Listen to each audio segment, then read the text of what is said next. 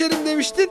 Yani hani rahat edecektik abi yerleştiğimiz gibi kıyamet koptu ya. Evet ya n- ne oldu ki? Ha, hay Allah ya. Nasıl da bunu hesaba katmadım? Neyi? Bunu. İşte dişini gece yastığının altına koyalım da bakalım sabaha diş perisi sana para bırakacak mı? Yaşasın. Yahu nereden çıkarıyorsunuz bu icatları? Yok diş perisiymiş bilmem neymiş.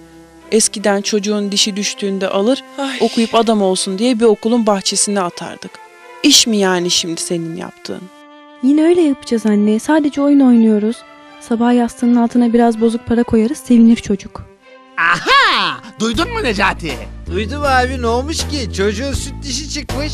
Hı, yastığın altına koyacaklarmış. Eğer o dişi alabilirsek bizi epeyce idare eder. Aç kaldığımızda o dişi yeriz. Olur mu öyle abi ya? Olur tabii olur olur. Kaç yaşına geldin Necati? Arkada senin de bir